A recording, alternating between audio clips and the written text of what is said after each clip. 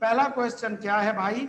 कि एनपीओ कौन सी कंपनी होती है? तो हम कहेंगे तमाम वो कंपनी जो ये चार कंडीशन फुलफिल कर दें, वो एनपीओ बन जाती है। दूसरा क्वेश्चन एनपीओ का लाइसेंस लेने की क्या रिक्वायरमेंट है या प्रोसीजर क्या है? तो आपने बताना होगा कि सबसे पहले हमें कमीशन को condition for license shall be granted by commission condition shall be specified by the commission और such shall and bind shall include MO तो सिंपल सी बात है भाई आपने सिंपल लिखना होगा कि कमीशन को अप्लाई करना होगा। ये चार कंडीशन पूरी करनी होगी।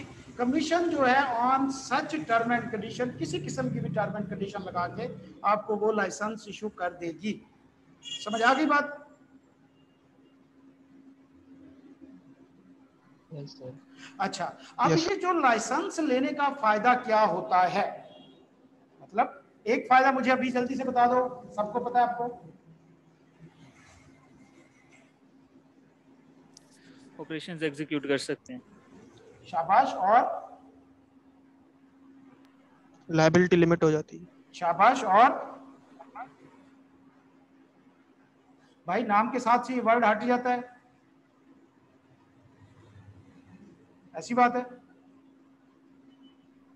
Yes, तो जो लाइसेंस मिलता है उसका इफ़ेक्ट या एडवांटेज क्या होते हैं? तो पहले नंबर पे तमाम लिमिटेड लाइबिलिटी वाली कंपनी पर प्रिविलेजेस मिलती हैं।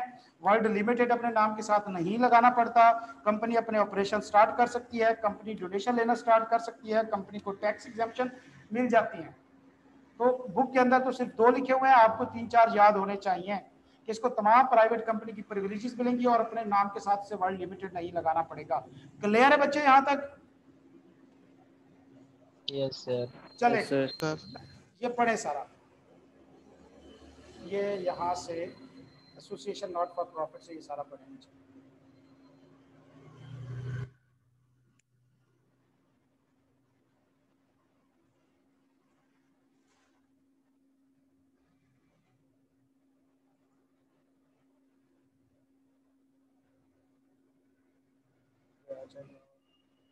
एक मिनट दे मुझे बस। इसके बाद फिर फॉरन बी एम बी एस की क्लास है। फिर मेरे ध्यान से निकल जाता फिर अगली बी एम बी एस की क्लास रेगुलर की है टैक्स की है। चले पढ़े इसको।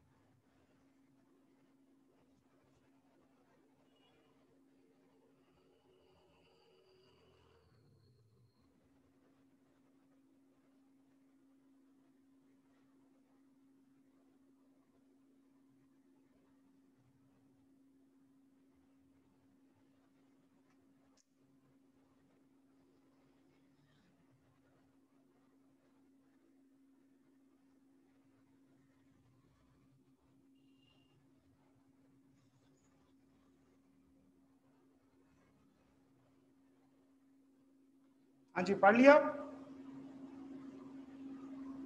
यस सर ओके ये नीचे वाले भी दो लाइन पढ़ ले बेनिफिट वगैरह पढ़ ले।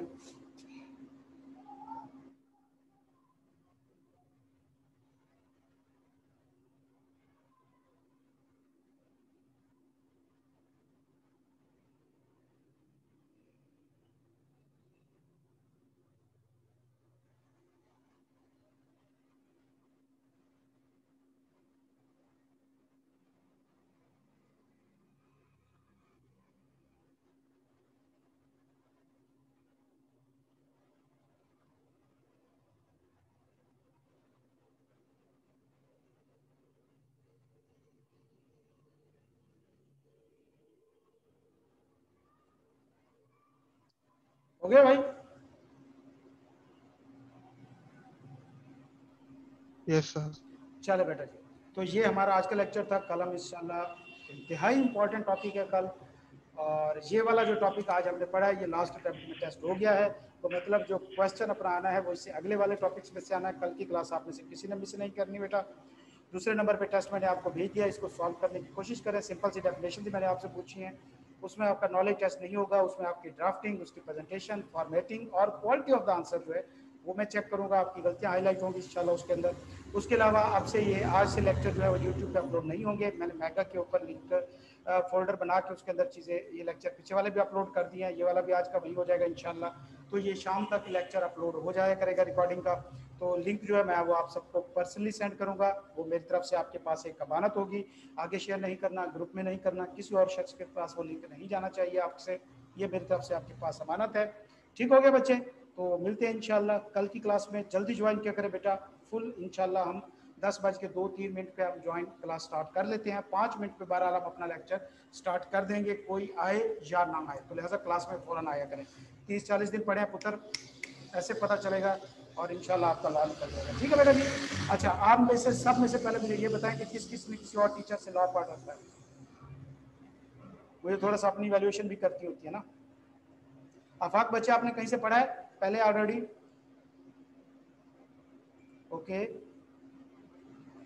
खलील, मकसूद मकसूद आपने नहीं, खलील, आपने बच्चे